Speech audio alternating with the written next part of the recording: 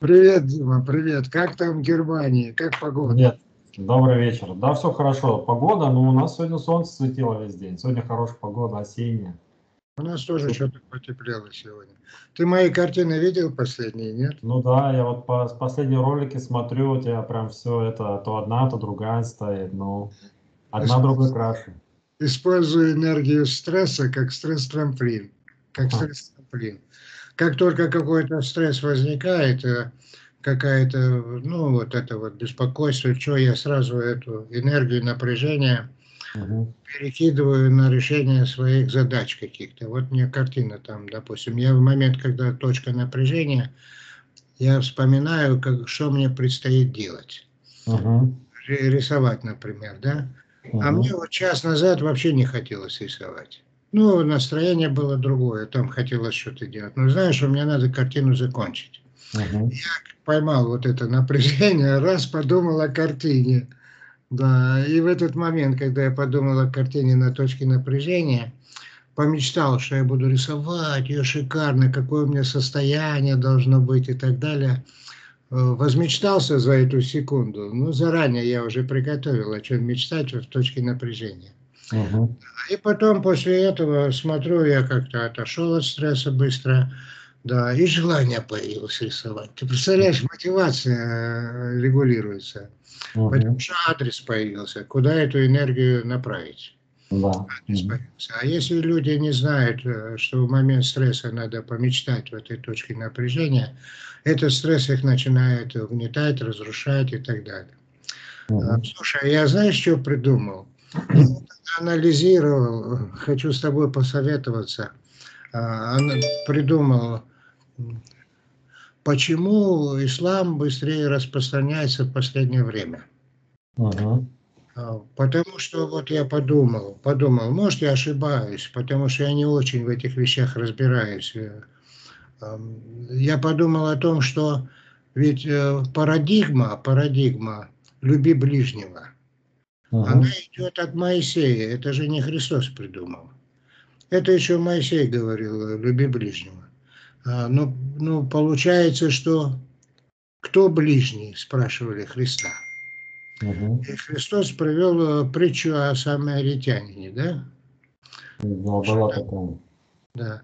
Что там кого-то там побили, он там валялся, э, христианин нашел какой-то иноверец, э, самаритянин, который вовсе не христианин, но он этого мужика поднял, одел, умыл, накормил, еще и денег на дорогу дал. И потом Христос говорит, ну кто ближе? А все, а все поняли, говорят, да, говорит, самаритян, вот так и вы любите любого, кто бы он ни был.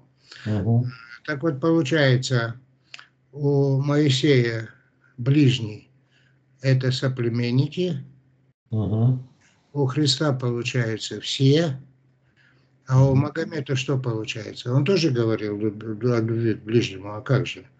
Ну, там разными словами, но одно и то же. Это вечная ценность э, любить э, ближнего. Угу.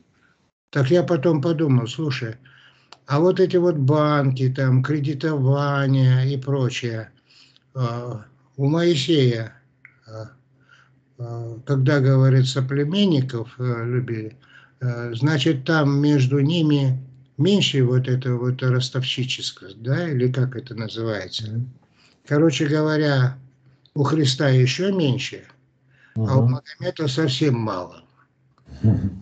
То есть по существу вот эта любовь к ближнему, она же ведь э, э, в институтах общества, что я должен сделать, э, какие деньги отдать, если мне кто-то субсидировал, банк там, или угу там, или общественная организация, у кого какой процент отдачи.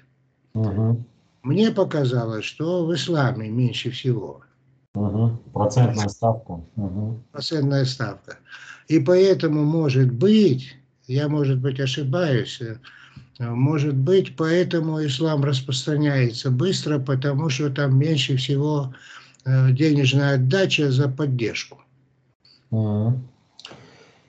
Ну, идея, конечно, интересная, хотя вот э, я сейчас вспоминаю, э, по-моему, есть, или я, по крайней мере, слышал, что существуют банки, которые основаны на, а, ну, как на, а, ну, не на Коране, а как на, на их эм, ценностях мусульманских, и что там чуть ли вот ростовщичества ну, почти нету. То есть понятно, что банк все равно от процентов живет, но там, да, действительно какие-то прям совсем минимальные, да, именно вот чтобы только работу банка поддерживать.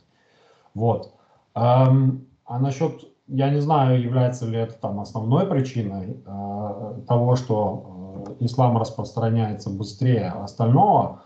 Э, может быть, э, ну, первое, что мне приходит в голову, э, христианство это более старая религия, особенно здесь в Европе.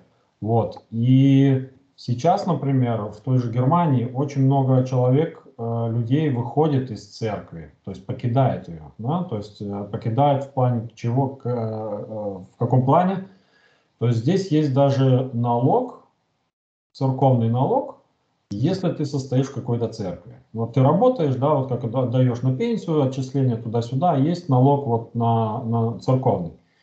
Э, ну, я его никогда не платил. Я когда в Германию приехал, я это самое, сразу знал, что это... Я не собираюсь туда ничего платить, хотя, в принципе, да, то есть я не могу назвать себя как, ну, атеистом в классическом понимании, что вот там Бога нет и так далее. То есть он есть, но, но просто я его чуть-чуть по-другому, наверное, понимаю, чем то, как э, церковь об этом рассказывает. Вот. Почему я об этом рассказываю? Что, потому что а, у меня сейчас создается впечатление, что люди потеряли доверие, многие люди потеряли доверие а, священникам, всем, кто участвует, всем, кто, кто участвует в этом а, ну, процессе, то есть в церкви. Конечно, там есть хорошие люди, там правильные ценности и так далее и тому подобное, но очень много скандалов было, причем именно там даже вот, да, с детьми, там, там, педофилия, там. У нас кёльнский кардинал, Вельки фамилия, Э, вот буквально вот уже несколько месяцев, ну уже не сказать, что гремит скандал, да, что-то там было. Я, честно, даже не читаю, но я вижу, что, да, кардинал Кёльнский, это один из самых в Германии, да, а значит, им как минимум в Европе, э, и там просто какие-то там ужасные там вещи происходят, и люди покидают церковь и убегают оттуда. Эм, и поэтому, видимо, что-то, наверное, связано со всем вот движением там вот этих там толерантность туда-сюда, э, семья как ценность уже вроде не такая, да, вот здесь начинает вот это вот все э, набирать обороты. Видимо, я вот думаю, что это как-то больше с этим связано, какое-то нацеленное разрушение религии э, как таковой, как, как опоры общества, да, вот чтобы, чтобы изменить мир, э, измени вот э, основные, основное мировоззрение. Вот посмотрите, интересно, вот э, сейчас же это циркулирует в интернете, что вот этот вот с этой модной штучкой, а, что это придумали те, которые хотят эксплуатировать мир, угу. которые хотят Э, больше денег на этом заработать, поэтому все хотят под контроль поставить, поэтому это придумали. Э, я подумал, может быть, они как раз эти те, которые вот эту идею первоначальную ростовщичества э, в максимальной степени, ведь это по существу контроль. Это -hmm. контроль над людьми. Ну да. Да, поэтому, слушай, ну ладно, это такая тема, Дима, да. мы еще подумаем, я думаю, мы с тобой еще в следующий раз поговорим, потому что мне интересно именно с тобой на эту тему поговорить, потому что ты с немецкой ментальностью очень педантичный, пунктуальный, четкий, четкий, и ты там можешь проанализировать, э, как вообще-то с этими банками там э, мусульманскими, христианскими и иудаистские отношения, вот эти вот все религии, э, почему эти смены парадигм происходили, взаимоотношения между основателями религии. И, конечно, самая современная, самая меньшая ставка, наверное, там. Поэтому она, да, смена парадигм ставки самой. Но, но я тебе эту картину не случайно показал. Угу. Потому что здесь девушка с гитарой под луной. Да. Она, кстати говоря, я ее поставил в новую книгу, которая выйдет через пару месяцев. Так. Вообще будут элементы ключ 2. Ну, весь ключ 2 я не даю, потому что это даю, в принципе, в закрытой группе в райской для изобретателей. Потому угу. что изобретатели, которые, э, ну, как тебе сказать, э, Альшулер, помнишь, был? Альшулер. Да. Угу. Ну, его ученики первые у меня тоже проходили практику, и они говорят, вот, э, когда у них идиомоторика пошла, они говорят, о, состояние стало такое, когда нет авторитетов, нет страхов, шаблонов мышления, свобода мышления. Да, вот я подумал, что это надо не только изобретателям давать, э, которые там создают что-то там и прочее, а может быть всем. И поэтому я маленькие элементики дал в этой новой книжке, которая выйдет. И туда вошла эта картина. И там будет еще 32 картины. Потрясающе будет. Да, 32 картины. Но я тебе эту гитару, девушку с гитарой, потому что ты сам играешь на гитаре, Поэтому ты мне скажи, как у тебя дела идут э, в твоей музыке. Эм, ну, я тут больше играю, то меньше. Э, играю вещи, которые уже как бы умею, просто сяду в удовольствие. Да? Вот у меня, например, вот ты сейчас рассказывал, что вот если стресс возникает, ты думаешь про что-то и как рисовать, и там, да, вот начинаешь потом через время рисовать. У меня в плане гитары как раз наоборот, у меня когда душевный подъем, прям вот меня прет, да, мне прям вот хочется вот сесть прямо и вот это вот там, а я играю такую более энергичную музыку, да, и поэтому это вот такой, э, ну, выплеск, что ли, энергии происходит, э, поэтому меня всегда тянет в таких ситуациях больше играть. Э, я в последнее время продвинулся в плане, ну, развития, в плане э, овладевания, овладения инструментом, вот. Э, но маловато я играю, понимаешь? У меня как... Ну, ты перед тем, как ты играешь, э, раскрепощаешься, ну, снимаешь мощные зажимы по ключу. я, я тебе одно могу сказать. Я гитару в руки практически не беру без того, чтобы хлест хотя бы не сделать. Или вообще там даже всю синхроги... Иногда всю синхрогимнастику делаю. Иногда просто пару вещей, то есть там, ну, свои какие-то мелочи. Вот, то, что ты показывал, пару своих там ну, обычно, да, одну там две минутки, вот, и потом садишься, потому что я заметил на самом деле, эм, вот хочешь, не хочешь, да, когда много сидишь, работаешь за компьютером, ну, все равно вот это вот, да, шея, э, плечи зажаты, потом, а то я уже сказал, что я довольно быстро металл, рок играю, музыку, от этого я заметил, у меня напрягается еще дальше лопатки, здесь вот плечи, да, э,